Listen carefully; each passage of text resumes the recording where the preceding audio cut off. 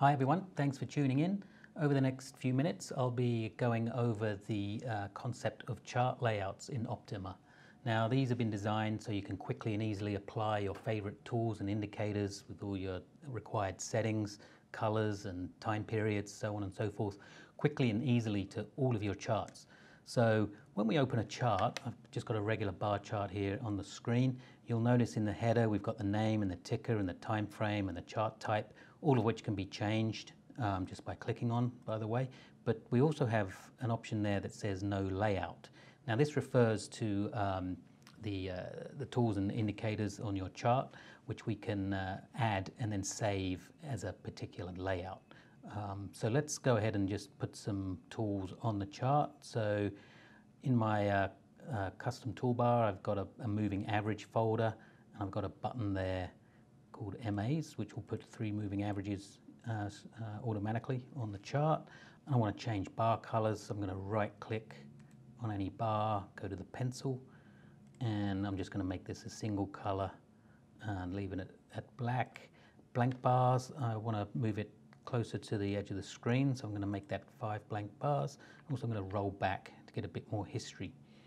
And let's put a, uh, a tool on the bottom, so a five period RSI and I'm going to show that in the price scale. So let's say that this is uh, sort of my default setting that I want all my uh, charts to appear on a daily time frame. I'm going to click on where it says no layout and just type a name. So I'm going to call this daily. So that's, uh, that's now in my system as a daily layout. So what that means is I can open up any chart um, let's uh, open up Bank of America, click on no layout and select that daily layout option and that'll open with exactly the same tools and uh, history as when the layout was saved. So now that's in our system, we can um, open up all our charts um, straight away like that. So let's go to our symbol list manager. So open file symbol list. Now if you haven't seen the uh, symbol list manager or, or know what these are, um, I encourage you to go back and uh, look out for that video. So this is a great way of, uh, of opening lists and, um, and, and uh, stocks in a, uh, in a quick and easy way. So I've got a manual list here uh, called Spider Sectors. So these are all the ETFs uh, in the US on the S&P 500 sectors. I'm going to open list as and under chart all, you'll see that there's my daily layout.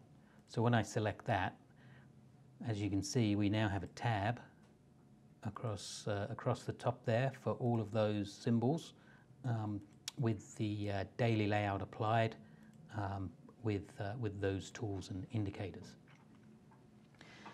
Now, one of the key things about um, some of the tools and, uh, and how they're applied on, on layouts is that uh, obviously things like trend lines and um, Fibonacci retracements, basically anything that you manually place on the chart, uh, that can be a text box as well. Um, they're only uh, really relevant to the uh, symbols that they are applied to. So I'll just show you an example. Um, I'm going to draw a trend line on, uh, on this chart here. So I'm going to select trend line from, uh, from my toolbox, from the right click menu there, trend line, and I'm going to go from that low up, uh, up, up through there. And I'm going to change that color, uh, make it black, and uh, I'm going to make it wider as well so it's easier to see. So now obviously that, um, that trend line is not um, relevant for any other chart. So if we um, go to XLP, for example, obviously that's not, that's not going to apply um, that, that trend line because um, the software is smart enough to know that that line, that particular tool, is, uh, is only relevant to XLY. So um, if we open up a new chart of XLY and then apply that daily layout, that trend line um, has been um, associated with that ticker symbol. So when we open up that layout or apply that layout to the chart, then the line um, will be automatically um, added to the, uh, to the chart. Another useful example of that is, is opening watch lists. So again, I'm going to I'm going to go to my symbol list manager.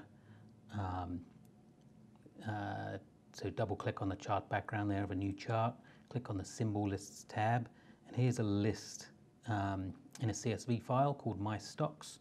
And I'm going to open that list as a watch list.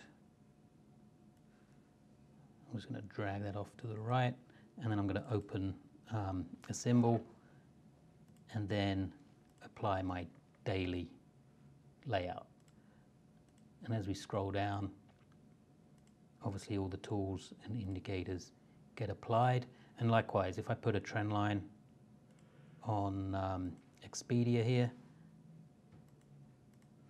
again, when I move, a click away, that trend line um, is not saved as part of uh, the layout for any other ticker symbol because it's only, a, it's only relevant for Expedia.